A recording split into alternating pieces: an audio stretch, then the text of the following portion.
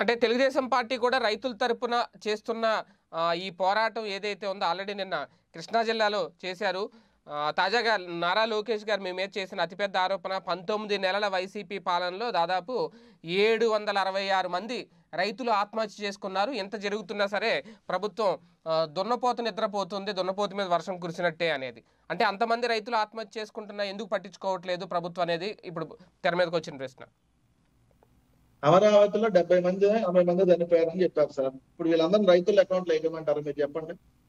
నారా నారా లోకేష్ చెప్పే లెక్కలు ఎట్లుంటాయి తెలుగుదేశం పార్టీ కార్యకర్త లేదంటే ఇంకొకళ్ళో లేదంటే అనారోగ్యం పాలై చనిపోయిన వాళ్ళందరినీ కూడా రైతుల అకౌంట్లో వేసేది తెలుగుదేశం పార్టీకి అలవాటు. మీరు చెప్పారు కదా అమరావతిలో ఇప్పుడు తొంభై సంవత్సరాల వయసు ఉన్నటువంటి ముసలామ చనిపోయినా కూడా రాజధాని కోసం చనిపోయింది రైతు చనిపోయింది. ఎనభై సంవత్సరాలు ఉన్నటువంటి ముసలాయన చనిపోయినా కూడా రాజధాని కోసం చనిపోయారు. అమరావతి కోసం చనిపోయారు ఇట్లా ఉంటే చంద్ర నారా లోకేష్ తెలుగుదేశం పార్టీ వాళ్ళ లెక్కలు. ఈ లెక్కల మీద మేము స్పందించాలా? రైతులు నిజంగా కొన్ని చోట్ల ఆత్మహత్యలు జరిగినటువంటి మాట వాస్తవమే.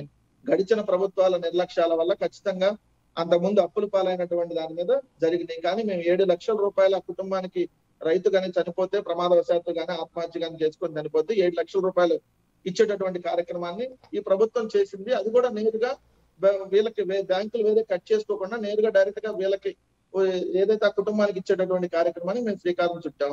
సో రైతుల ఆత్మహత్యలు అనేది ఎక్కడన్నా జరిగితే నిజంగా చాలా బాధాకరం. జరగకుండా ఏ విధంగా చర్యలు తీసుకునే దాని ప్రభుత్వం ముందుంటుంది. మీ హయాంలో నా ఐదు సంవత్సరాలు మీరు అధికారంలో ఉన్న టైంలో దాదాపుగా మూడు వేల ఐదు వందల మంది రైతులు ఆత్మహత్యలు చేసుకో అన్నారు. దాన్ని మీరు ఆ రోజు ఎందుకు చేసుకున్నారు మీ మీ నిర్లక్ష్యం వల్ల రైతుల్ని మీరు వ్యవసాయం దండగా అని చెప్పి రైతుల్ని ఏ విధంగా మీరు చిన్న చూపు చూశారు. మీ మేము అందరం చూసాం ఆ రోజుల్లో. కానీ ఈ రోజు రైతు రాజుగా ఉండాలి. రైతుకి ఎంత మంచి చేయాలో అంత మంచి ఈ రోజు ఈ ప్రభుత్వం చేస్తా ఉంది. చాలా వరకు ఈ రోజు రైతు ఆత్మహత్యలు అనేది తగ్గినాయి. సో రైతులు మంచిగా ఉండాలని ప్రభుత్వం కోరుకుంటా ఉంది. వాళ్ళకి సంబంధించిన ప్రతి ఒక్క విషయంలో ప్రభుత్వం అండగా నిలబడతా ఉంది. దాన్ని ఓర్చుకోలేక ఏదో ఒక ఆరోపణలు చేస్తా ఉంటే ఇవన్నీ నారా లోకేష్ అనే విఘ్నత లేదాలకే వదిలేస్తా అతని అంటే ఆ కుటుంబాలను కూడా పరామర్శించారు నిన్న లోకేష్ గారు నిన్న అవనగడ్లో అంటే కృష్ణా జిల్లాలో నివర్ తుఫాను వల్ల నష్టపోయి ఆత్మహత్యలు చేసుకున్న కుటుంబాలను పరామర్శించడం అంటే పవన్ కళ్యాణ్ గారు కూడా కృష్ణా జిల్లాలో మనం పర్యటించారు అనుకోండి. అంటే నివర్ తుఫాను బాధితులు ఇక్కడ కూడా ఉన్నారు అని గుర్తిస్తున్నారా ప్రభుత్వానికి? గుర్తించుతున్నట్టు అనుకోవాలా? మీరు విస్మరిస్తే. అసలు వాళ్ళకి ఏ తుఫాన్ ఎక్కడొచ్చింది ఏ వరద ఎక్కడొచ్చింది అవగాహన ఉంటే దాని మీదే మాట్లాడతారు. ఇప్పుడు నివర్ తుఫాను వల్ల కృష్ణా జిల్లాలో ఎక్కడ చనిపోయారో నాకు అర్థం కాలేదు.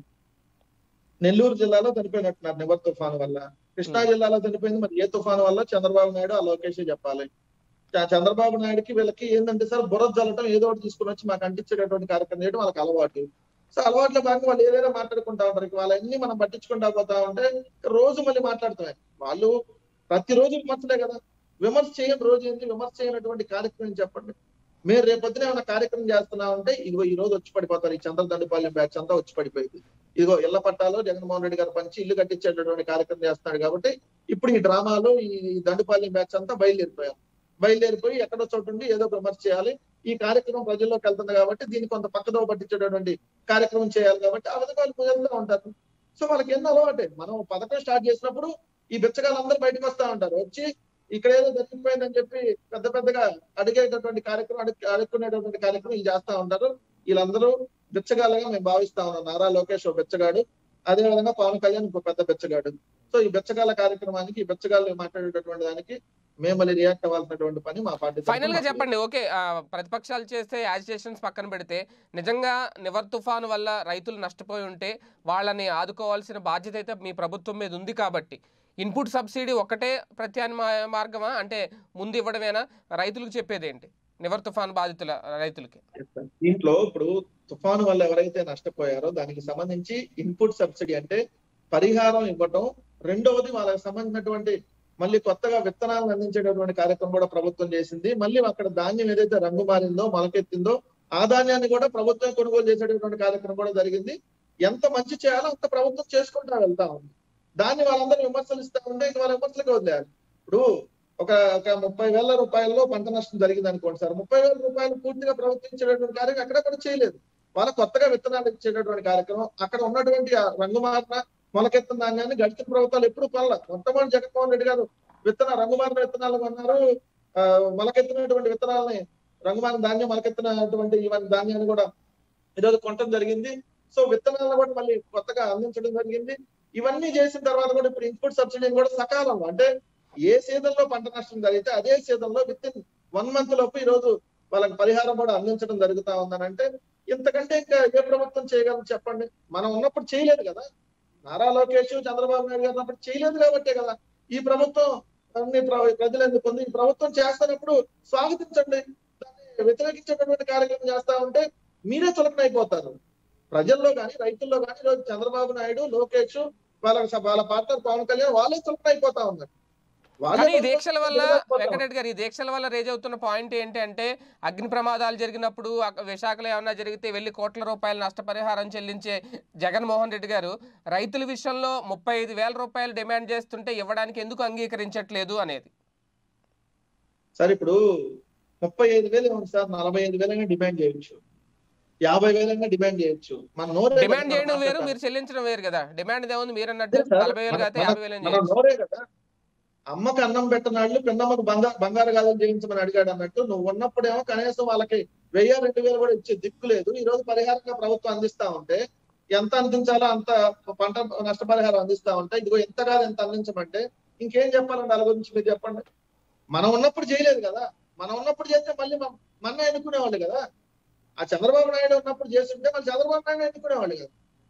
మళ్ళీ లేకుండా ఇప్పుడు మీరు ఎంత అందించాలి? ముప్పై ఐదు వేలు అందించాలి? ఏం పవన్ కళ్యాణ్ రెండు వేల పద్నాలుగు నుంచి పంతొమ్మిది దాకా ఎవరి దగ్గర పడుతున్నాడు అండి ఏడ పడుతున్నాడు ఎవరితో పడుతున్నాడు ఏ ఆ రోజు ఇన్పుట్ సబ్సిడీ ప్రభుత్వం ఆ రోజు చంద్రబాబు నాయుడు ప్రభుత్వం నాలుగు వేల వంద కోట్లు ఇవ్వాల్సి వస్తే రెండు వేల వంద కోట్లు ఇచ్చి మిగిలింది ఎగదొప్పినప్పుడు ఏడ పడుతున్నాడు ఏడ తొమ్మున్నాడు ఆ రోజు గుర్తు రాలేదా? నష్టపరిహారం ఆ రోజు రైతుల ఆత్మహత్యలు గుర్తు రాలేదా? ఏ ఈ రోజు గుర్తొచ్చిందా? అంటే నువ్వు ఎక్కడున్నా కూడా నువ్వు నువ్వు ఎక్కడున్నా కూడా నువ్వు విమర్శించేది వైఎస్ఆర్ కాంగ్రెస్ పార్టీని నీకు చంద్రబాబు నాయుడు ఏ డైరెక్షన్లో చెబితే ఆ డైరెక్షన్లో బయలుదేరుతావు. నీకు ఎక్కడ వరద వచ్చిందో తెలియదు. అసలు వరద వచ్చినప్పుడు ఏ పంట నష్టపోయిందో తెలియదు. నువ్వు వచ్చి మన ఫోటో పోజుగా ఇచ్చి ఏది చేతికి గ్లౌజ్ వేసుకొని గ్లౌజ్ వేసుకొని పంట నష్టపరిహారం ఎక్కడ జరిగిందో చూస్తున్నాడండి ఏం చెప్పాలి ఇంకా? సరే మాస్క్ అంటే పెట్టుకుంటారు కదా. గ్లౌజ్ వేసుకొని గ్లౌజ్ వేసుకొని అక్కడ దిగి అక్కడ ఏం జరుగుతుందో చూస్తా ఉంటే ఈ డ్రామా ఆర్టిస్టులు ఈ పెయిడ్ ఆర్టిస్టులు అందరూ ఈ రోజు మా మీద విమర్శలు చేయటం. అది కరోనా కరోనాలో. సేఫ్టీ ప్రికాషన్స్ అనుకోవచ్చు ఎందుకు దాన్ని కూడా విమర్శిస్తారు మీరు?